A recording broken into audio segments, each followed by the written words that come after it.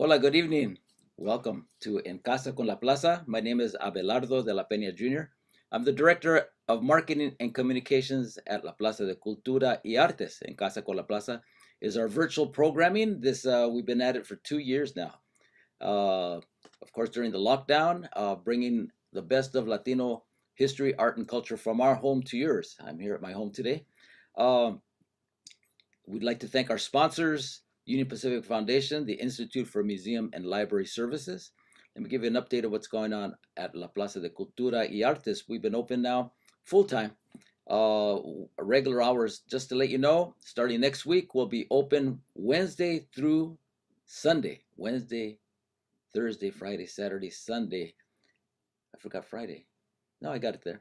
Anyway, from 12 to 5. Uh, of course, our admission is free of charge. Also, La Plaza Cocina, our newest museum, uh, dedicated to Mexican food, is also open right across the street from La Plaza on the backside on Spring Street from 12 to 5, Monday through Sunday. We're closed on. We'll be closed starting next week on Monday and Tuesday. All right. Uh, let's see. Also, all of our exhibitions are open. Uh, LA starts here. Calle Principal, Patriotism and Conflict, Fighting for Country y Comunidad, which talks about the Chicano Moratorium plus Latino service people who served during the military during those times. Uh, and then our most recent exhibition, L, uh, L.A. Memo, Chicana Chicano Artists from 1972 to 1989. And we'll be talking to one of the artists who has been, who's featured in that exhibition, which uh, we've been, uh, which is part of the, a lot of the pieces are from the AltaMed Art Collection. All right, uh, let's see, algo más. If you've joined us on Zoom, please use the chat feature. Uh, let us know who you are, where you're viewing from. Make comments, ask questions like Monica Mendoza has already reached out to us telling them it's an awesome exhibition and we have to agree. Uh, if you're on Facebook, we have the comment section.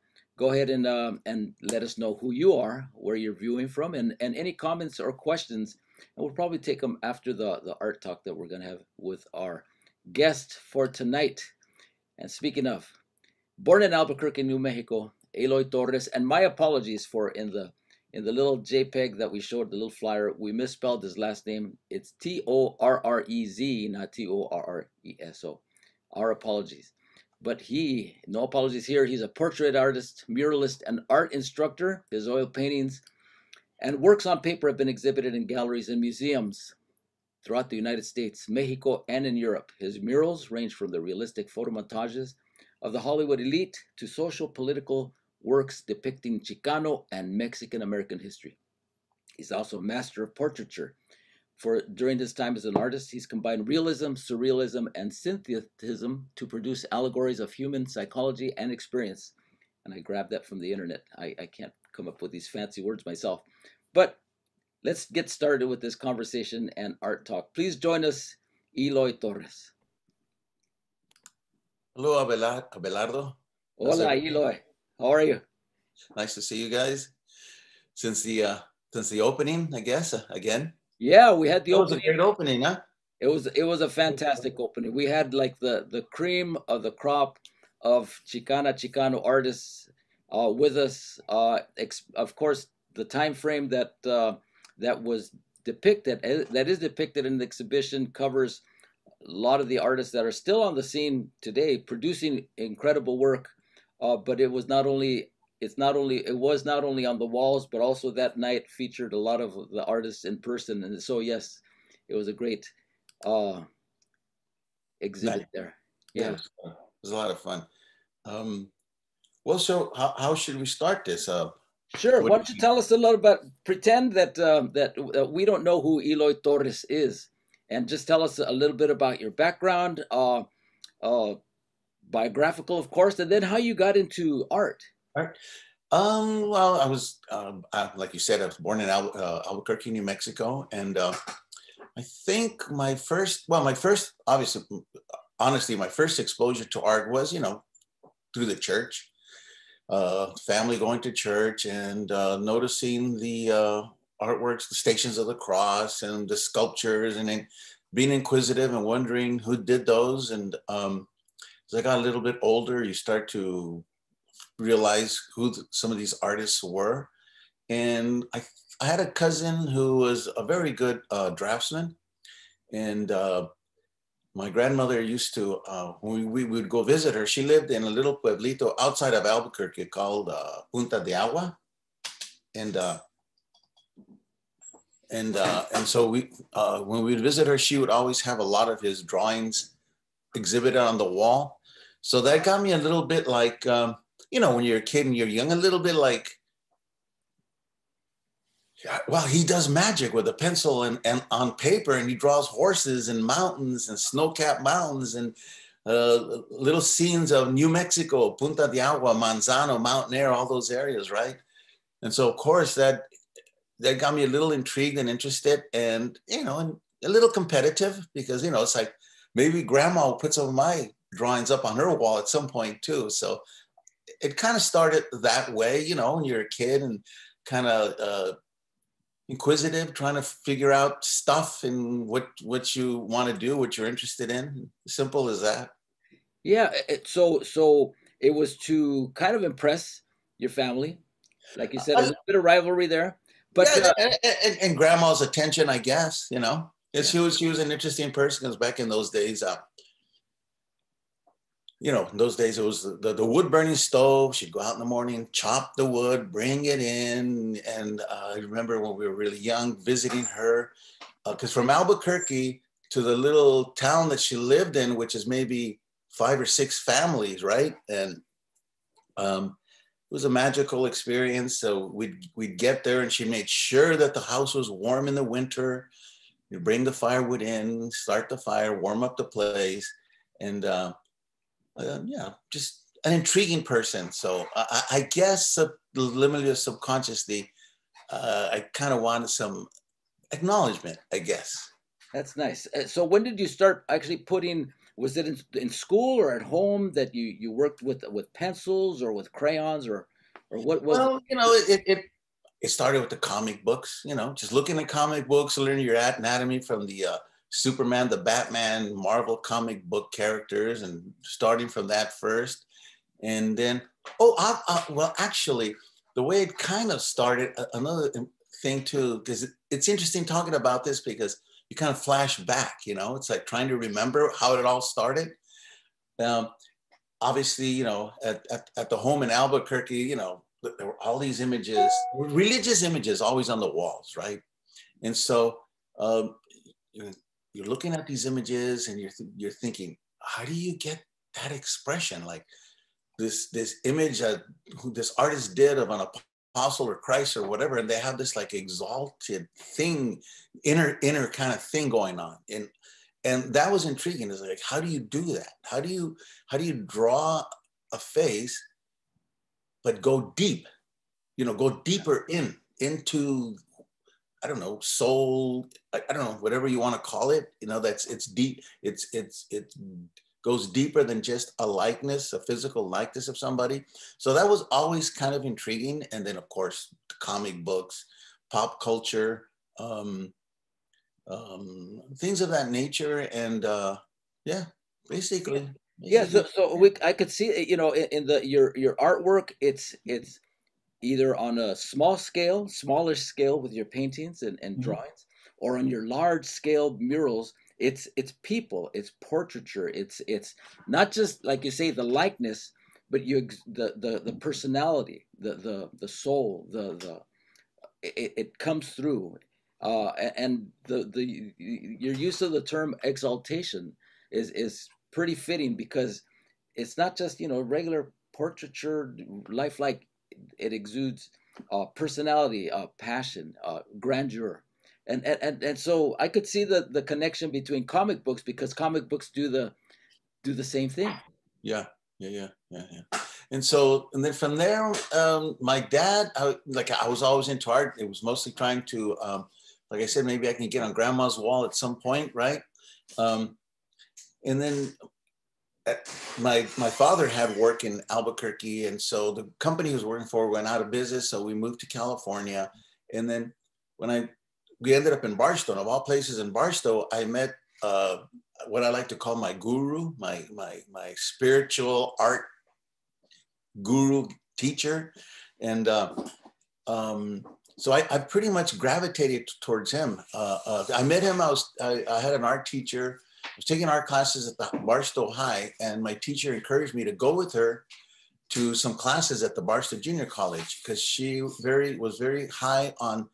Uh, she was very impressed with the the professor there, and so I, I said, "Okay, I'll, I'll go." And I, I, went, and I was very um, I was very impressed with with this person. He was very charismatic, uh, and then but besides all of those, all of that, he could draw and he could really paint. And uh, the first thing I'm thinking is is where am I going to meet somebody in Barstow that I can learn from, like this this person? And so that that was I think that's really kind of what started the whole thing of really being serious about wanting to be an artist Right. And, could you share the name of the, the person that you're? Yeah, his name is uh, Jim Savoy. Okay. Jim Savoy. He's he's passed on. It's it's it's. Yeah, it's it's it's kind of a drag that he's passed on because I I've always wanted to reconnect with him as as the years go by, but it's it's been a little bit difficult. Um, but well, that's that's the way things go in life, you know. I was I was hoping to reconnect with him, um, but he he's the one who helped me um, put a portfolio together to apply at, at Otis Art Institute at the time when it was near MacArthur Park. And so he pretty much helped me put that together. And, and from Barstow, I, I, I got to Otis and I, I knew nothing about art schools. I knew I, I didn't I didn't even know where to start looking, you know, which art school could I apply to. But he had some some students of his that had uh, applied to Otis and uh, and uh, he he seemed to be think uh, he he and he got a very good response from his students about Otis at the time. Oh, great! And and so, what was your experience like at Otis? Oh, it was it was. Um, well, I'm coming from Barstow. It's kind of like it's a tiny little town, you know. And so I get to LA, and it's it's a completely different world, a completely different experience. Um, um, I mean, just simple thing like driving you know you got to learn to be assertive and and, and and and and and not be so like you know when you stop in a small town like barstow you're like polite. You can go. No you can go. You know no no you go first. No dude you go. And in la it's it's like zoom zoom zoom. So you're like i had to it took me it took me a little bit of time to get into the pace of la and i really like what I, I think one of the things that i really did like about being an otis is it was just the diversity you know? I, I like I, I I I met Kerry Marshall there, Ulysses Jenkins, uh, uh, uh, artists from like uh, Arkansas, Wisconsin, all over, all part of the all different parts of the United States, and that was really that was so so much so exciting, you know, and and, and fun, and uh, just kind of opened up a whole new way of looking at things and and and, and trying to learn how to navigate through LA at the same time. So yeah. it was pretty exciting. Yeah, and, and what was your age at this time? I was when I first got to Otis, I was 22. Okay. 21, 22. I think I just turned 22. All right. Yeah. So so what happened next? Did you graduate from from Otis? Uh well, see what happened when I got to Otis, I mean to be really honest, I, I, I had such, I felt so prepared when I got to Otis because my teacher, Jim Savoy, besides being a really good teacher, uh, he had, he had, the door, I can't hear the music. He, he had, he had prepared us pretty well. And so when I, when I got to Otis, I didn't, I didn't, there was an interesting transition going on at Otis. Because when I got to Otis, I was expecting it to be, um, there was a, thing going on where conceptual art was coming in, performance art, mm-hmm. video art, and I was kind of thrown for a loop because I had never been exposed to any of those art forms. So um, there was there seemed to be two kind of schools at the, at the time, the, like the traditional side, and then the, the, the more contemporary or new way of creating art forms, technolo- technological advancement stuff that was being incorporated into the arts. And so there was this thing going on that, you know, painting is dead, painting is mm. the past. And, and so I, I got a little bit I was a little bit confused about it all. And at the same time, too, there was because I always liked music when I was, excuse me, when I was a kid. Um, and there was this whole new thing with the music that was happening at the time. The punk music scene was coming in. And so um, I really kind of like shifted a little bit from the art and I really started getting into the music um, because it was an interesting challenge to to learn how to put a song together. How do you how do you how do you how do you make a how do you compose a song, make it work, and which is which is what I had kind of with the intriguing thing in being at art school with Jim so uh, with with Savoy at, uh, at Barstow. It was that whole idea of something fresh, learning something new. And when I got to Otis, I was still kind of discovering myself. Like, okay, I'm this guy from New Mexico. We moved to Barstow. I wasn't exposed to much of anything in Barstow. You know, it's like it's it's. I mean, you turn the radio on and it's all like Christian programming, no FM radio, even rock and roll. Most of most of the rock and roll music that I was exposed to, music at the time, was through friends who who knew way more about music than I did, or or who who you know and, and I kind of hung out with them. And so by the time I got to Otis, I, I felt like, well, I kind of know a lot of these things in the traditional sense. In the, I, I guess, in the more other aspect of exploring art, the music was because it's performance. You know, you get out there, you write a song, you work. What I liked about the music thing is that you collaborate with two or three other people, and that was fresh and new. Because being an artist, it's especially when, when I was at the junior college, I was so focused and I drew, you know, part of the thing is like you do three sketches a day in your sketchbook because you got to fill it up because, you, you know, uh, by the end of the quarter, that, that sketchbook has got to be filled up to get a C. Mm-hmm. And if it's good, you can get an A or B or whatever. So of course I was kind of grandma again, but with Jim Savoy, I wanted to impress. You know, that's just me. So I was very, always very disciplined, kind of nerdy about it, right? So every class that he had, I was there trying to learn to draw from the model. It was it was difficult. So, and I think when I got to Otis, there was this looking for some other way, fresh way to express myself, and and and and not being so lonely because all of these activities you do it uh, by yourself on your own, and it's a, a lonely activity. And um, and the cool thing about collaborating with other people is you create something together and you get feedback from another person. You know, you come up with a part, the other person comes up with this idea, and you're like, yeah, that that's cool, that works. And so, and also, I think at that time, being fresh here in LA, I'm like, well, who am I? I'm trying to figure all of these things out about where I fit in the world, you know, because 22, 23, coming from a place like Barstow to a big city of LA, it's a little overwhelming, a little confusing.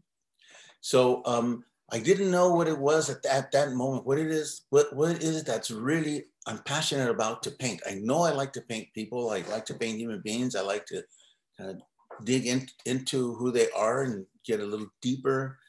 But um, I wasn't, I just felt like I just got to live a little bit. I got to like explore the city, do music, do gigs, play live. It's it's it's and kind of get out of your shyness in a way because the thing about performing is that you get up there and you're scared as heck, you know, because like you don't want to screw up, you don't want to mess up, but it's that adrenaline that's really fun. And I think I kind of needed to go through that. And I really embraced it and I really got into it, but still in the back of my head, it's it's I felt like I'm putting so much into the music and not so much into the art. So there was this kind of conflict a little bit. Mm-hmm. Um, and as time went on, I, I, I, I, and it's it's never ending. You're always looking for for what it is that you you're going to invest hours into to painting, and, and and at the moment you're really into it, and then sometimes you're like, so what? who, who really cares? You know what I mean? And and so th- those kind of things. But I, i've learned to balance the music and the art because i paint i'll paint for four five six hours and the guitar's always there and it's it's not going anywhere. I pick it up i'll write something and i, and I found that uh, it actually they kind of feed each other. Uh-huh. especially lyrically if i'm trying to put lyrics together for a song it's it's it's it's like okay what am i going to say in this song? And i and then i think this, when I do that, I'm thinking the same thing in my paintings. What am I going to say with this painting? What am I, what I, you know what I mean? So they kind of like writing lyrics to music is, I think is, is helping me to look even deeper into my subject matter. All right. Just a couple questions. Uh, yeah. What time frame are we talking about? You know, your, your oldest years, you're, you're getting into music. Uh, um, I, I, when did I get into Otis? I think I got into Otis around 77 and I left like maybe two and a half years la- uh, later. I, I, got a BFA and I started working on, a, on my MFA, but uh, I, I was a little bit mm, bored with art school, a little bit. I had gotten a little bit bored. I just wanted to, to get out and I, I got a job at, um, with Brockman Gallery Productions. Um, um, CETA programs were out at the time, were happening at the time. And so I, I got a job restoring murals. And then I, had an opportunity to work with Kent Twitchell on one mural he was working with. Um, and then I then I, I got a job at Self Help Graphics. I was an artist in residence there for a little while. So uh, yeah, so that's what I did. And then actually to the Brockman Gallery Productions, um, I had I met Glenna Boltuch, and she was the director of the Citywide Murals program mm-hmm. at the time. And um, I expressed to her that um, I would love to do a mural. If she could find me a wall some somewhere, I'd love to do it. And she came up about a, a few weeks later. She goes, "I have two walls in Hollywood," and so um, I did my first mural in Hollywood. Shall we start with an image? And yeah, let's start. That. But before we do that, one last. Okay. Did, did, you actually perform with a band or solo? Oh yeah, yeah, yeah, yeah. Yeah, we had. We were called. We were first called uh, there was the Talking Heads at the time, and and and yeah, yeah. Talking Heads were a really art school kind of band because they were from Rhode Island and they were artists that became musicians, and they had some really interesting lyric uh, lyrics and the way David Byrne put lyrics together and the music was very intriguing to a lot of us. And you know, in art school, you meet a lot of closet musicians, musicians and artists. You know, they're actually I, I started a group there, and it was with this Filipino uh, guy. Uh, his name was Jim Abuan, and uh, and he was more into the conceptual art. So I really didn't know what to think of him. And he was a little bit of a of an aloof kind of guy, and uh, he looked like a he was like a good looking, dark brown James uh, uh, uh, James Dean looking guy. He was always walking around with the, the leather jacket, right? And so I had a studio uh, on Seventh and Westmoreland near MacArthur Park, and he had a studio next to me. And I plug in my guitar loud sometimes, and I just crank it and play. He knocked on the door and I go, oh boy, I'm too loud. He goes, would you like to jam at some point? And so I got to, we got together with him and then we found the drummer who uh, was originally from Detroit. And then we call ourselves the Street Talkers, you know, kind of a little play on the, uh, that was the first name. And then we changed our, and we performed. We were doing quite a few gigs. So we, that was more like a punk incarnation. But of course, we were, we always had our ears with the, with the new wave stuff, music that was coming out. And, and, in actuality, when I did go to art school, there was a lot of bands that came out of a small school. There was about six or seven bands. And like I said, you know, artists and musicians, kind of the, the you know, I mean, a, a lot of very well-known uh, musicians went to art school. And, and so uh, it was easy to, to get a group together. And so him and I played quite a bit. And then we, we changed the name to The Rents and then we changed our name to Western Heroes. So you can kind of get an idea by the names of how we were kind of evolving or trying different things. All right. It was a lot of fun. And at one point we, we, we had this girl, this gal singer who was very, uh, very dynamic and very theatrical and, and, uh, and uh, we were doing pretty well with her. Um, but it, it just somehow, it just didn't last but it, the music still is with you. Oh yeah, yeah. I'm always writing. I, I, I, I, I write every day because I like, like I'm working on a project right now, and it's very uh-huh. labor intensive, right? And so, you can only do this, you know, where you're labor intensive and you're focused for so many hours, and then there's a part of the brain that needs something fresh to come in because it's like part whatever part of the brain that is, it's just so saturated. I need just need something new. So the guitar's always there. I'll pick it up. And that's mostly when something interesting and magical kind of happens because you're kind of out of your comfort zone. I, I think we all have kind of comfort zones that we kind of go to in, in when we're creating. You know what I mean? Like you get to a point where you go, okay, I know when I, if I paint this and I do this movida, I got it. I've done it before. I know it's gonna work. But the interesting thing about when I've been doing this activity, painting for a long period of time, and there's a certain part of the brain that needs just something fresh and new. What's interesting, I'll pick up the guitar and I'm out of my comfort zone because I'm kind of in that weird state, you know, where I haven't really like adjusted yet into, okay, I'm gonna adjust and I'm gonna go do my go-to thing on the music because I know this works. And so I'll just record the best things that happen sometimes is at that moment when an idea comes, I'll reference it on my phone. And some of the things that you think are kind of like like mistakes or screw ups or weird timing things are the things that become the little gems later. Because that's kind of where you kind of find this subconscious, subliminal, original something going on. Do you know what I mean? Yeah. And and so I'm trying to learn to work with that. And and and in fact, like the uh, um, I, I got together with the guys. It had been two years since I have two guys that I that we do music. We've been playing since we were back in the 80s, right? And uh, Carlos, Carlos, and and uh, I'm not, yeah, uh, Chiquis and uh, Jose, bass, the bass and drums. And we got together about two, three weeks ago, and I had a bunch of songs. Joe had one song, and we just started playing. We didn't really, we weren't quite sure of the arrangements. We're okay, well, just they're just play them. And, and listening back, there's some things in there that at first I thought, no, I don't like that. But the more I listen to it, the more I embrace it and I like it. So now I'm trying to learn, sing the song the way I sang it that day instead of like maybe going the what I think is the correct way. I don't know if that makes any sense.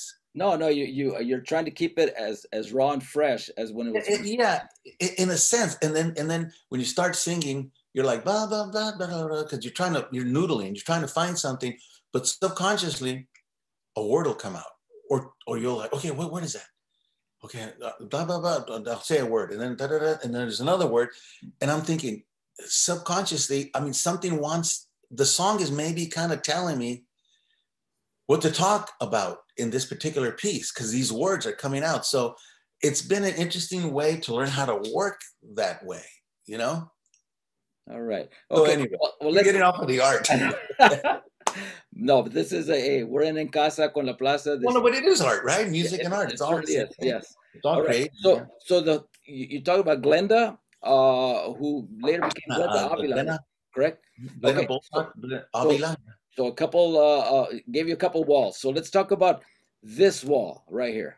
Okay, that's the uh, the wall she um, she came to me. She goes, uh, "I have two walls, a big one and one not so big." And I told her I like the big one. I like to do the big one.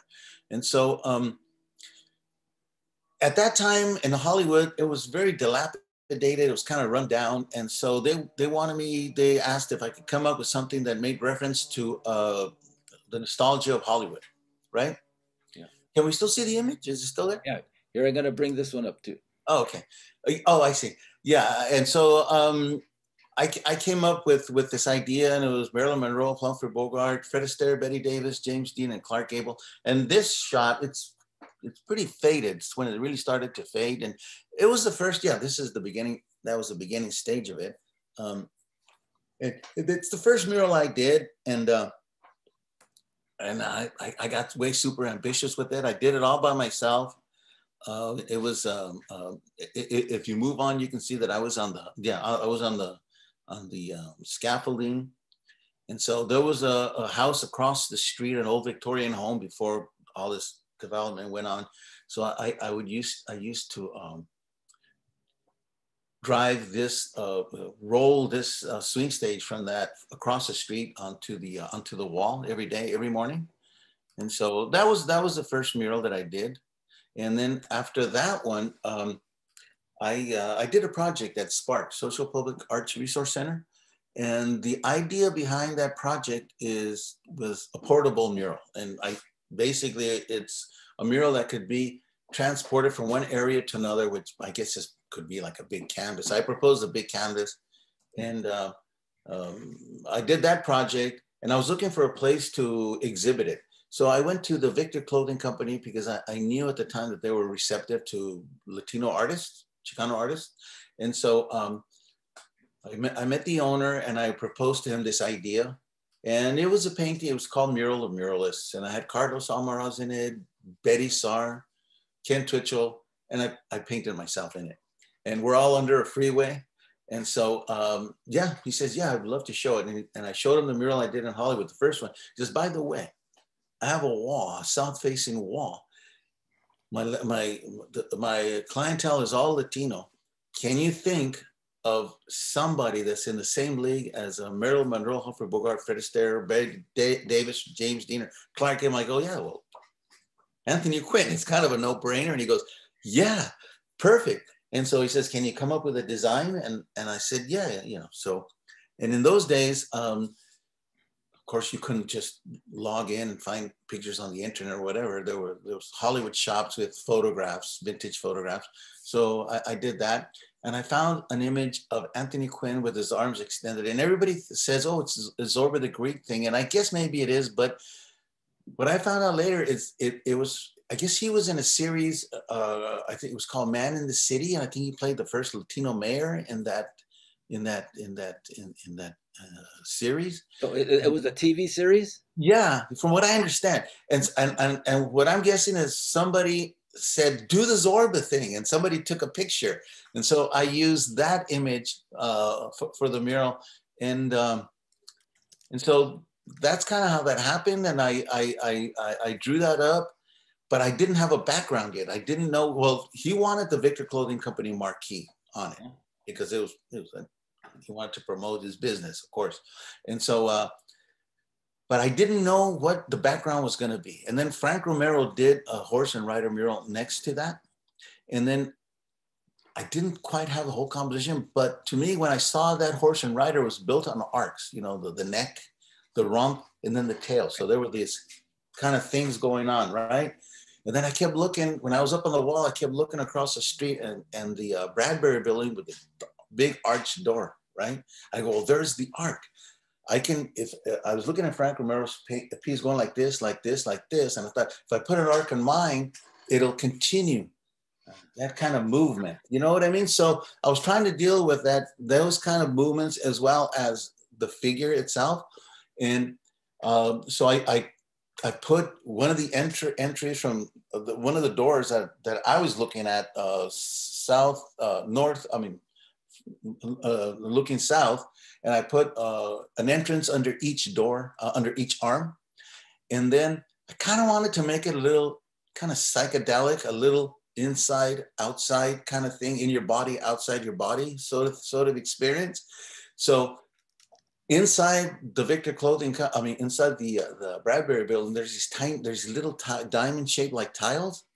So I thought if I put those tiles and I blow them up across the street. If you go inside the Bradbury building, you see the little tiles in the Bradbury building and you look out that door and it's almost like looking through a kaleidoscope kind of experiences.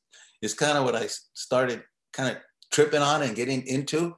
So it kind of, it composed itself as I was there doing it. I mean, I proposed the actual figure at first in the marquee, but I, am thinking, no, that's too simple. It needs it needs another element, to, and I want to tie it in with Frank because with Frank's because now it's a challenge. It's an interesting challenge because there's that and here's mine. And I want to see if I can make them work together, you know, make it flow.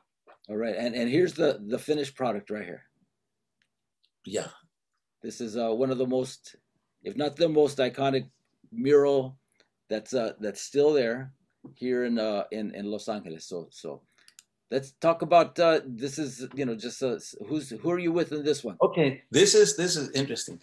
Uh, go back to the go back to the first picture. Bob Bob Bob Grigas. I met him when I was doing the uh, the the the Hollywood mural, and he would come around every day. And he was from Philadelphia.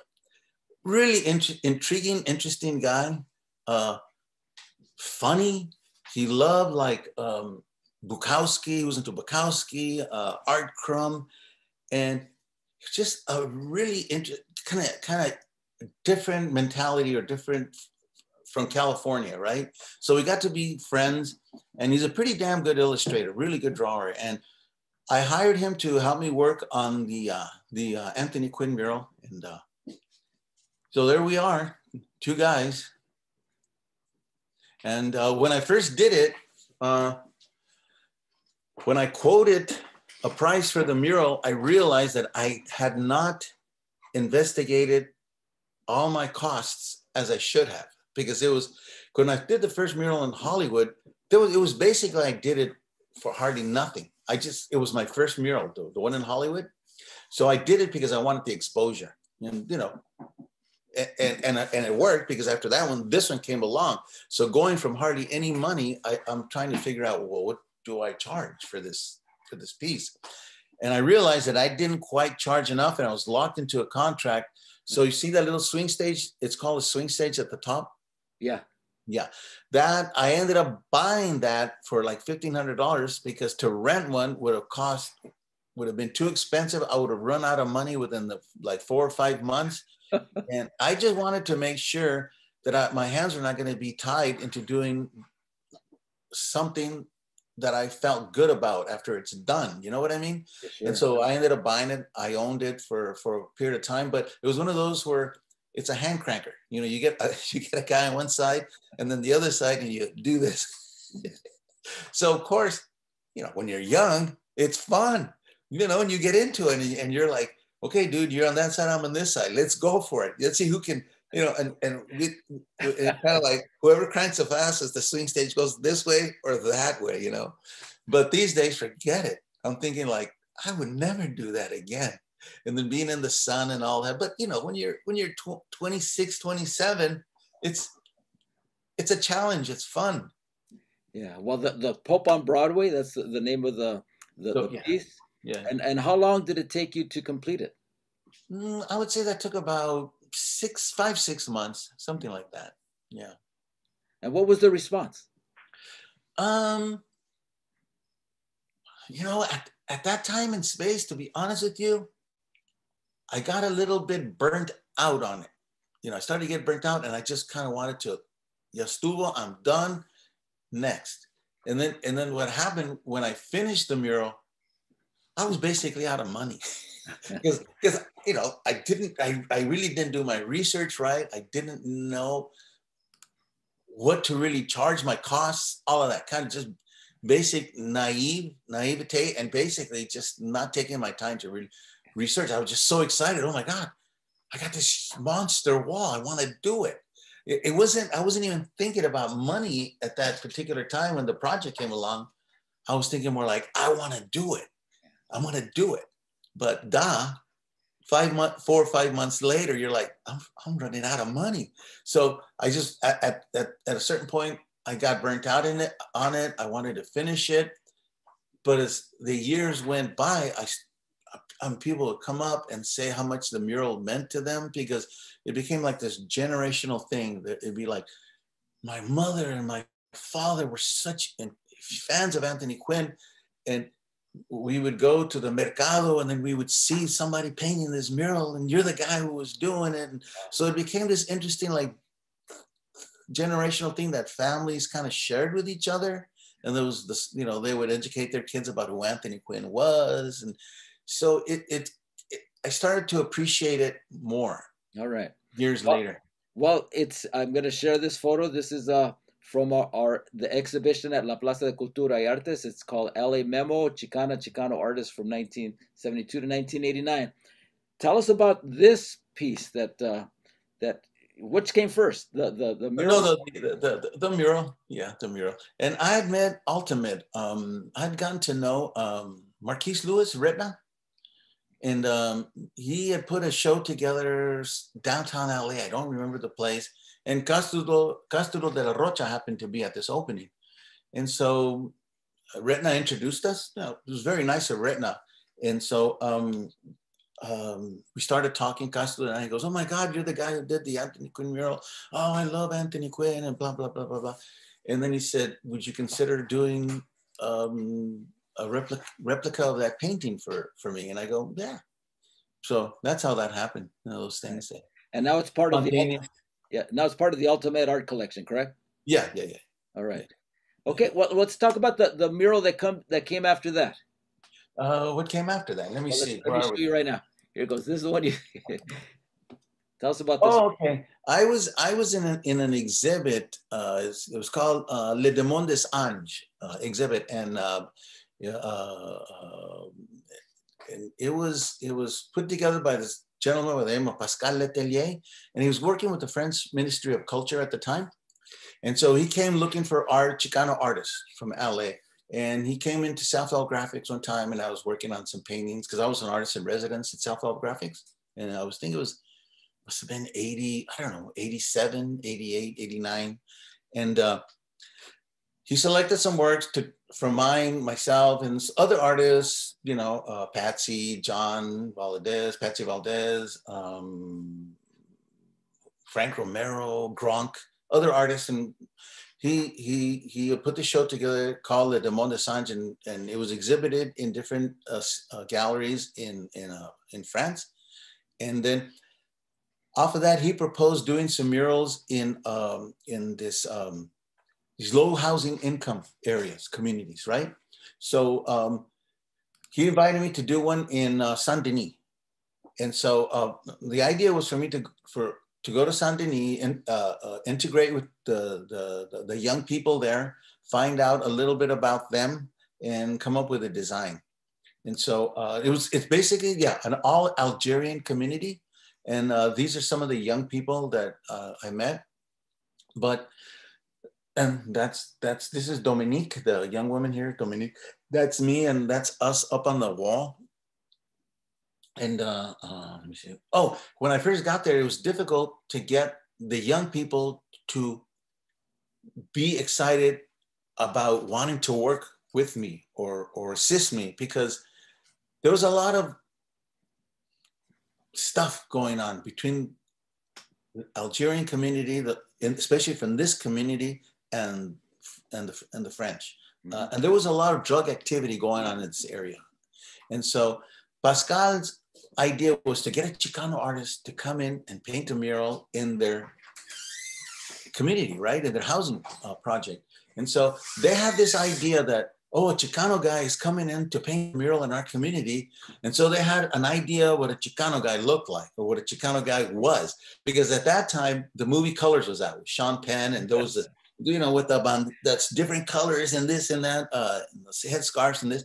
And I, I, I, I arrive and I'm this guy. At the time, I had longish hair, and uh, and I'm kind of weto, you know. And they look at me and they go, "Huh? You're Chicano?" And I go, "Well, we come all different size, shapes, colors."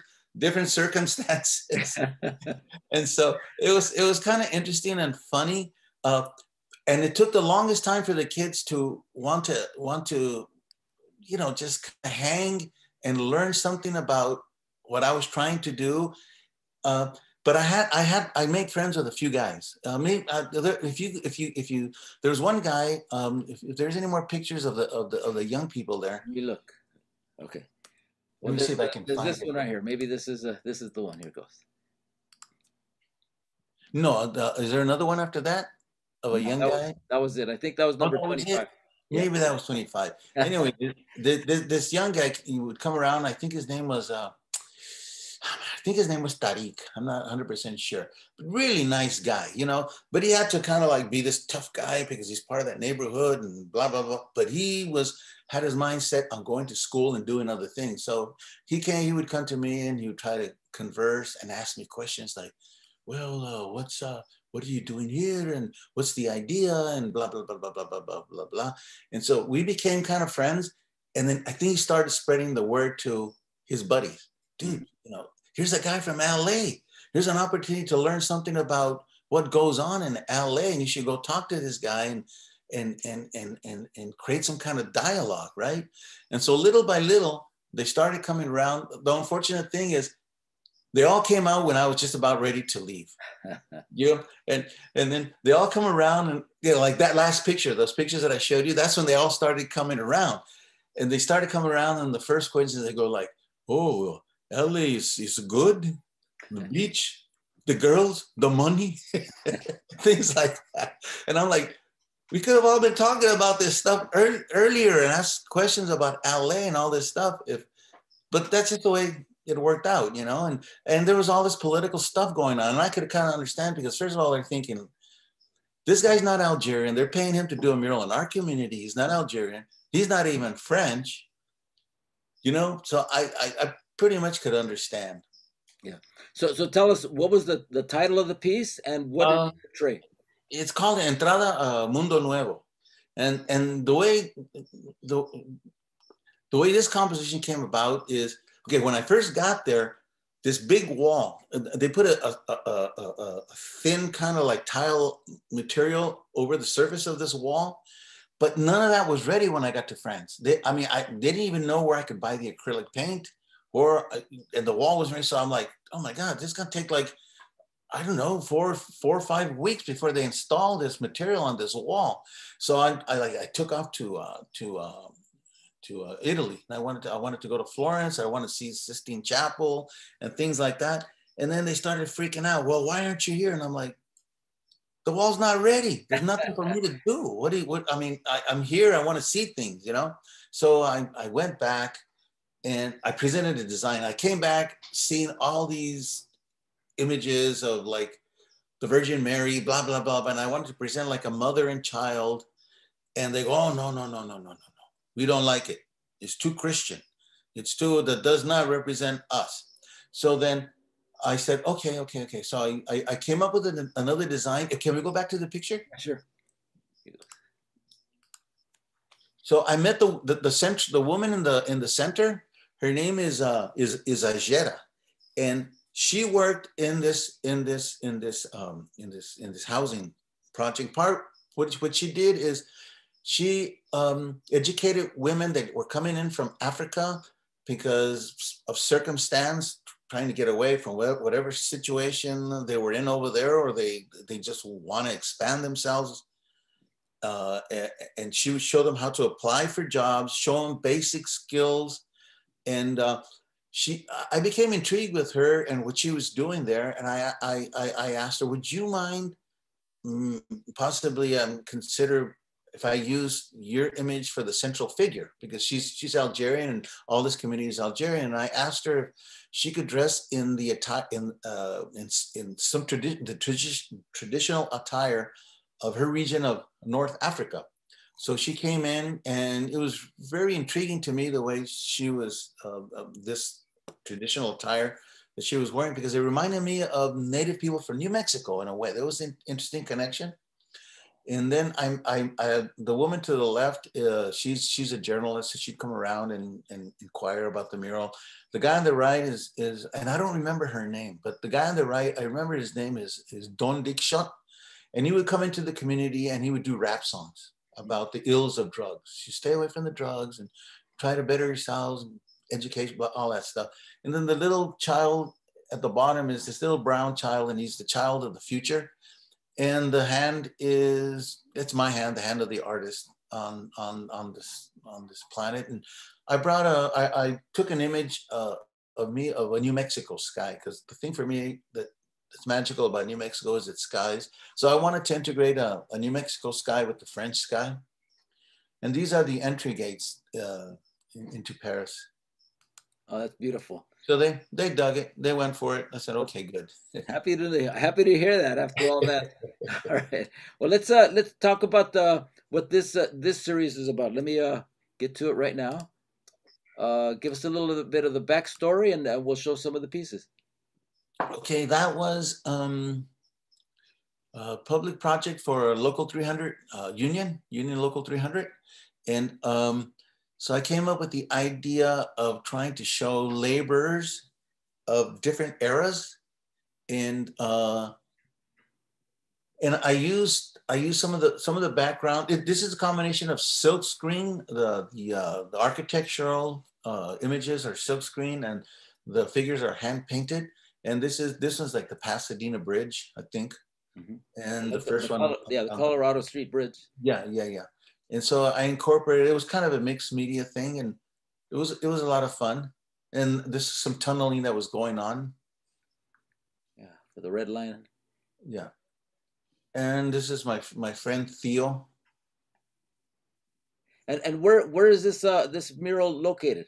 Uh, it's there. there uh, I think there's seven panels, and there are there are about I don't know five a little over five feet by four feet, and there's seven of them that are in the interior of the building. And Jesus, where are they? Hmm. They're um, Jesus, what is that area? Union around Union Street and Six, some somewhere around that area. They're, I mean, just look, just look up a local 300 headquarters or whatever. Okay. Find it, yeah. All right. Uh, are the is this one part of the series as well? No, no. This is a whole different thing. This is a co- collaboration thing that I, I that my wife and I did together.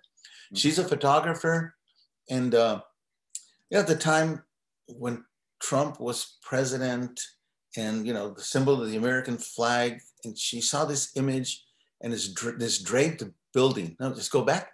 Sure. Yeah, this draped building that kind of like looked like a Darth Vader uh, with an American flag on it, and it almost looks like a cross on it. And so we we looked at that, and I thought, okay, I want to do something, and we kind of thinking of developers and and uh, uh, uh, uh um, marching on and looking for territory, looking to where can we develop, where money, money, money, money, money, money, money, money. You know, so it, it was kind of a reaction to what was going on when Trump was president and uh, was this part of a series? Or... Yeah, uh, yeah. We we we'll, we'll assign ourselves once in a while because we like to collaborate. And like I said, it kind of goes back to music. You know, it's fun to collaborate because you feed off of another person, and it's a lot of fun. And so I don't know. We did maybe four, three or four, three or four pieces on. Right. on what's, your, what's, your, what's, your, wife's name, if you don't mind me asking? Uh, Juliana. Okay. Juli, Juli, Juliane in, in German, Juliane. Oh, fantastic. Okay, I have another. I think this is another series right here. And let me uh, let me share the screen. All right, tell us about this. Um, we I was we were at a we saw an exhibit at the Rijksmuseum uh, in Amsterdam. Of course, you got to see the Rembrandts, right? Yeah. You're there, you got to see the Rembrandts. I saw the Night Watch and a lot of his pieces, but we went to the contemporary section of the gallery, and there was one artist, I guess it was maybe based on the on the Holocaust. He did these death, a series of death masks, mm. plaster death masks, and uh, the way they were lined, they were lined in a grid, and the way it was lit, they were almost like strangely beautiful because when you read them as the shells of what was was it was once a human being and contained life in them, but they were dead, you know. And so it just stuck in my mind so much that when I got back to LA, it kind of it was it was in my subconscious, and I I started painting these floating head series, and the idea was to um, I started first ten by ten floating heads, and then I started get going to the next size, which was size which would be twenty by twenty and then 40 by 40 and then i wanted to do some much bigger. And the idea was um, it's kind of like this universal consciousness us looking i don't know like if you were to look at the at, at the stars and you get this sense of perspective you know what i mean? And you and you have these these tw- twinkles of light but his his were were masks of, of, of, vessels that contain life at one point, right? The, so the artist, but I wanted minds to have the life still in them looking at us. And we're kind of have this dialogue of like, if you could look at the universe and the universe is looking back at you because we're kind of the same material, I guess, you know, we're kind of made up of the same stuff basically. So it was just one of those things that, you know, at, at the moment you have this idea and you kind of run with it. And a lot of times you're trying to figure out what it means and you, you don't particularly have the answer yet but it's it's it's you, you, you do it and i would i mean my idea is at one point to because it, it's still continuing but i haven't had a chance to, to get to it, it is, is to exhibit at some point where you walk into this space this massive space and you have from 10 inch to 10 inch canvases to 20 by 20 to 40 by 40 to 60 by 80, all the way to colossal type heads. Wow. So that you can walk in and you, oh my God, and you get this feeling of depth, you know, like like as if you're looking into the universe and conscious consciousness is looking at you and you're looking at it and there, there's this weird, interesting dialogue that maybe happens. It's the best way I can explain it of what I was trying to do. So I haven't done the colossal heads, but the biggest one I have now, I think, is six by six. but I, I would love to do some that maybe get to like 10 by 10, 12 by 12.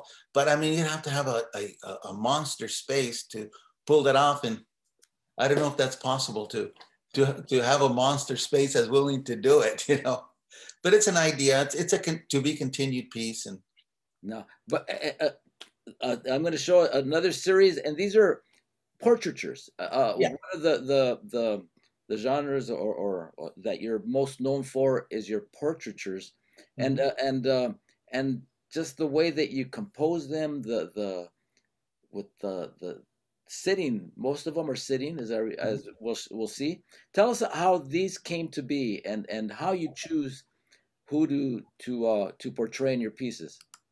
Well, actually, these I I saw um, at the LA County though. David Hockney did an exhibit. Uh, it's called 82. It was 80 uh, for his 82nd birthday, I guess. They they did an exhibit called 82 Portraits and One Still Life. Did you see that exhibit? No, I didn't. Yeah, and I I, I needed to see it because it, it's David Hockney. You know, he's he's, he's an incredible uh, figurative uh, uh, painter. So I went to see it, and at first I was I was a little bit like, okay, they're they're, they're kind of nice. They're they're the colors are a little too much for me. And we all have our our first reactions to something. It's like when you listen to a song, you might like, ah, it's okay. And then all of a sudden, before you know it, a week later, you're like, I love that song, you know? Yeah. And so David Hockney is, is tricky because I went in there and I go, ah, they're too bright. The colors are, it looks like, it looks like photoshopped too bright colors. And I, I'm more, I like subtle colors for me, you know? Uh, but he really reeled me in. And then what I started uh, realizing about those series is, which Da, of course, he was kind of showing the world he navigates in, his friends, the, the side of the fence that he's on, so to speak. So he's on that side of the fence. I'm on this side of the fence. So I thought, I'm going to do what he did, but I'm going to show my side of the fence. And I, at first, I started, and people that I know, friends that I know, uh, uh, people that are collectors, people that bought art, people that are friends, people that acquaintances that I just think are intriguing, interesting subjects. And uh, well, this is Rigo, by the way. He's a he's a gallery director, um, and uh, so th- that was basically the, the idea. And I started, at first I started, I, I bought some oil pastels and I thought, I'm just going to do these looks like David Hockney. But it's one of those things where I ended up going back to what I kind of know because you're always trying to find ways. I don't know if I'm done yet, if I've exhausted yet, trying to learn how to get better mm-hmm. and kind of what I know you know but it's it's it's a lifetime thing where you can never you know you'll never be satisfied you know what i'm saying so I, I, I started to really lose. I, I, bought these oil pastels, and the oil pa- these particular ones that I bought were taking forever to dry. So I didn't I didn't like them, and so I ended up going back to uh, painting more uh, realistically with these. Mm-hmm. And it, and I ended up calling it uh, Shades of Us because the idea was kind of you know like being in LA. To me, LA is so contemporary because there's it's so diverse and that's what I love about Los Angeles, you know. And I, I wanted to to say something about LA and its people, and and my time in, on this planet, the, my, the time that I'm here, people that I encounter, people that I get to know. I I I, I want to. It's it's like I feel like a fly on the wall. I'm documenting people that I encounter, that I meet. Oh, this is uh, Kerry Marshall. No, those are they're all remarkable, and and of course some recognizable figures here. If you're in the like you say, they're collectors. Ricardo Munoz. Ricardo, yeah, and it's it's with his son's jacket. Yeah, and this, yeah, yeah, his son's jacket. He's he's he's he's very proud of his. He's a very family oriented guy. You know, he's he, he he's that's his passion, and uh, so I needed to uh, portray him in that. And, and and who is this? Jim Sanchez. He's um he's a, a, a national guard I, in the Navy. Mm-hmm. And so he collects Chicano art. And Betty Avila. Yeah, the, the executive director of Self Help. Yeah, yeah, yeah. Because I was I was an, an artist of residence when Sister Karen was there. Wow. So it was kind of like, okay, this she's the executive director now. It's an it's it's just I just like tying things together Yeah. and then uh, Rigo, uh, East, Eastern Projects. Yeah, yeah, yeah, yeah. And this woman was, um, she was in charge of I don't know to exactly to what capacity she was in charge of, but she was at at uh, she was putting together in some capacity the uh, exhibit, uh, students of Charles White exhibit at at the uh, at, at, the uh, uh, Otis Art Institute, the old Otis Art Institute near MacArthur Park Gallery, and so I I, I met her. She was there, and she had this T-shirt, and I started inquiring, asking her questions about her. She's young. She kind of reminded me when I first got to Otis, you know, because in your head, you you start doing these, putting these things together because it's fun. You know, you, you like to to create these little scenarios in your head. Okay, she's young. She's at Otis. I was young at one time. I was at Otis. She's on my old stomping grounds. Oh, what do you what, what do you do? And I started inquiring, and it turns out that she's she's lived in New York. She's lived in Mexico. She's lived in LA. She's involved in the in, in the art world. And so I'm I'm already thinking of her as this person who's going to be somebody really important in the art world and and she's Latina, you know what I mean? And so I just in my head I started and I and the Angelino New Yorker just broke to me all all those stereotypes that we we just stay in our backyard. You know what I mean? That the world is is big out there and she's out there doing it. And so that was just one of those moments where i wanted to encapsulate all those kind of ideas and thoughts into one image which was her. Fantastic. So so, so tell us uh, we're at the hour. We appreciate the time that you spent with us. Uh, what's what's what's coming up next? I'm working on a on a on a on a really fun project that I'm, I'm really enjoying, but it's it's kicking my butt a little bit. It's it's it's very um, uh, it's a lot of work. It's a lot of man hours. Um, I, am not at liberty to disclose that yet because they need to publicize it first before I can. Sure. But but uh, I'm, I'm very very excited about it. It's it's a it's gonna high a high profile project, and so uh, I'm hoping by the end of the month I can announce it. Well, fantastic. Well, you, have, you have a place to announce it here. Just let us know, and we'll. I definitely will. Yeah, we'll, we'll, we'll definitely put it on our social media and so on. Well, Eloy, this has been fantastic. I really enjoy. I've enjoyed your work for a while. I was familiar with some of your your, mm-hmm. of course, most well known pieces, The Pope of Broadway, uh, the the portrait that you did of, of Herbert Sigüenza with with okay. the crown. Yeah, yeah, yeah, yeah. Yes, yeah. Uh, but uh, but the, the breadth of your of your work is is astounding. The craftsmanship, the the talent that you have is is is. Thank you for sharing it. Well, uh, thank you for asking me to do this Zoom. It's I had a lot of fun. All right, I appreciate it. All right, well, uh, if any questions, we have uh, the chat. Uh, a couple more minutes to go. Uh, thank you for joining us, Maria Carrillo here on Facebook Land, uh, Monica Mendoza, Sonia Guzman Gonzalez. Uh, here on uh, on Zoom.